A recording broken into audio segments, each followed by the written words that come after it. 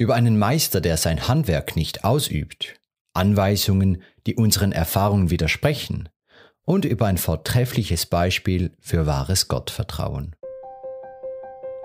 Sonntagsimpulse. Gedanken zum Evangelium für jeden Sonn- und Feiertag des Jahres mit Priestern der Petrusbruderschaft. Heute mit Pater Gregor Pahl. Meister, wir haben die ganze Nacht gearbeitet und nichts gefangen, aber auf dein Wort hin will ich das Netz auswerfen. Liebe Zuhörer, das, was uns diese wenigen Worte sagen, lohnt sich einmal genauer zu betrachten, denn es lässt sich daraus neue Kraft für die eigene Gottesbeziehung schöpfen. Der heilige Petrus gibt uns hier nämlich ein vortreffliches Beispiel für wahres Gottvertrauen. Ganz kurz in einem Satz wird es uns hier im Evangelium beschrieben, und dabei ist es doch für uns im Alltag alles andere als schnell und einfach zu üben. Stellen wir uns die Situation des heiligen Petrus einmal genauer vor. Da steht Petrus als erfahrener Fischer in seinem Boot auf dem See Genezareth, ihm gegenüber dieser Fremde, von dem man schon so viel gehört hat, der aber offensichtlich kein Fischer von Beruf ist. Das scheint seine Kleidung, aber auch das Fehlen von typischen Werkzeugen für diesen Beruf zu verraten. Und nun gibt dieser Fremde Anweisung, jetzt am helllichten Tag noch einmal rauszufahren und die Netze zum Fang auszuwerfen. Aber widerspricht das nicht den Erfahrungen eines Fischers, der normalerweise des Nachts oder sehr früh morgens zum Fischen herausfährt, wenn die Fische die Netze eben nicht gut sehen können? So oder ähnlich mag der heilige Petrus gedacht haben, und daher spricht scheinbar nichts dafür, diesem Rat zu folgen. Menschlich gesehen scheint es keinen Erfolg zu bringen, jetzt rauszufahren und die Netze auszuwerfen. Vor allem, nachdem man schon die ganze Nacht über versucht hat, Fische zu fangen. Und nun geschieht das Unglaubliche. Petrus, der erfahrene Fischer, vertraut diesem Fremden und befolgt dessen Rat. Meister, wir haben die ganze Nacht gearbeitet und nichts gefangen, aber auf dein Wort hin will ich die Netze auswerfen. Und so fährt der Fischer erneut auf den See und wirft seine Netze aus. Sein Vertrauen aber wird durch ein unglaubliches Wunder belohnt. Liebe Zuhörer, am Beispiel des heiligen Petrus bedeutet Gottvertrauen, dass man sich auch entgegen aller eigenen Vorstellungen in einer konkreten Situation ganz auf Gott zu verlassen hat. Das heißt, seine Hilfe und Leitung gerade nicht in Frage stellt, sondern fest daran glaubt, dass Gott es so zu meinem eigenen Besten fügen wird. Dietrich von Hildebrand drückt das so aus.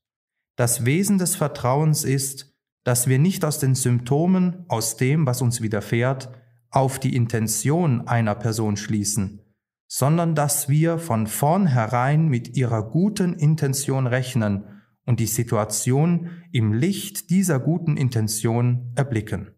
Mit anderen Worten, derjenige, der Gott sein Vertrauen schenkt, verzichtet von selbst darauf zu entscheiden, ob Gott sich seiner annimmt oder ob er ihn verlässt. Vielmehr weiß er, dass alles von Gottes Seite nur Liebe sein kann und dass jede dunkle und schwierige Situation im eigenen Leben auf diesem unerschütterlichen Hintergrund betrachtet werden muss. Stellen wir uns aber auch eine weitere Frage. Was genau hat den heiligen Petrus dazu bewogen, diesem Fremden in seinem Boot sein ganzes Vertrauen zu schenken und erneut die Netze auszuwerfen, obwohl scheinbar alles dagegen sprach? Da ist zum einen die Nähe des Herrn zu nennen, und dann ist es das Hören seiner Worte bzw. seiner Predigt vom Reich Gottes. Beides muss den Apostel innerlich so berührt und gestärkt haben, dass er bereit war, mit unerschütterlichem Vertrauen dem Rat dieses Fremden zu folgen. Also, liebe Zuhörer, diese Antwort soll uns helfen, das Gottvertrauen besser üben zu können und niemals daran zu zweifeln, dass Gott für uns Menschen wirklich immer nur das Beste will. Lassen wir uns von unserem Heiland ergreifen und bestärken, indem wir oft seine Gegenwart suchen und auch immer wieder seine Worte hören. Die Gegenwart des Herrn finden wir ja im Gebet während des Tages, bei einem Besuch des Allerheiligsten im Tabernakel einer Kirche oder dann im Empfang der heiligen Kommunion. und seine Worte vom himmlischen Vater finden wir beim Lesen der Heiligen Schrift. Liebe Zuhörer, gerade dieser öftere Umgang mit unserem Heiland, diese lebendige Gottesbeziehung kann uns wirklich helfen, Gott unser unerschütterliches Vertrauen zu schenken, wenn es einmal darauf ankommen sollte. Wenn eben alles dunkel zu sein scheint und wir uns im wahrsten Sinne des Wortes einmal in die Hand Gottes fallen lassen müssen. Wer bisher nämlich mit dem Herrn den Alltag verbringen wollte und sich immer wieder in dessen liebende Gegenwart begeben hat, der wird auch gerne bereit sein, ihm zu vertrauen und das Wagnis einzugehen, sich seinem Willen in der ungewissen Situation ganz zu überlassen. Ein tiefsinniger Spruch fasst das sehr schön in die Worte zusammen. Vertrauen ist, jemandem die Macht zu geben, dich zu verletzen, aber daran zu glauben, dass er es nicht tut.